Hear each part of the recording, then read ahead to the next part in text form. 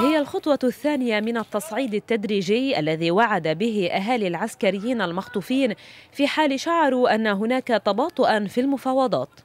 فبعد يوم الغضب الذي قطعوا فيه طريق الصيف أشعل الأهالي الإطارات أمام السرايا الحكومية بالقرب من مكان اعتصامهم في رياض الصلح. الشيء اللي عم نعمله هلا ما هو إلا البداية، نحن وعدنا قبل المرة يمكن ما صدقوناش، وعدنا بإنه نكون حضاريين وكنا حضاريين، وعدنا إنه نكون إنسانيين وكنا إنسانيين، وعدنا إنه كنا رح نصعد وبلشنا نصعد، خليهم يتعاطوا مع الملف بضمير وبإنسانية وبمسؤولية يرجعوا هالولاد على مؤسساتهم لبين أهلهم وحاجة يستخفوا بعقولنا ويضحكوا علينا وإلا يتحملوا المسؤولية هن. إذا خرب البلد هن رح يتحملوا مسؤوليته مش نحن. عدم تعاطيهم بملف الأسرة هذا بالشكل المطلوب رح يودي البلد على الهاوية.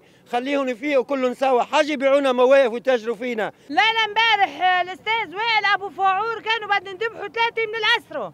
ثلاثة مشكور وائل أبو فاعور واليوم اتصلت فينا الدولة الإسلامية قالت لنا اشكلوا وائل أبو فاعور والأستاذ عباس إبراهيم الملف منيمه الملف منيمه ما بده يتعاطى فيه عباس إبراهيم ما بده يتعاطى بالملف منيمه ما بده يشتغل. عبكرة الثلج والبرد بيقتل الأولاد لحالهم وأكد الأهالي أن برد الشتاء وامطاره لن يثنيهم عن الاستمرار في اعتصامهم وتحركاتهم في سبيل تحرير أبنائهم.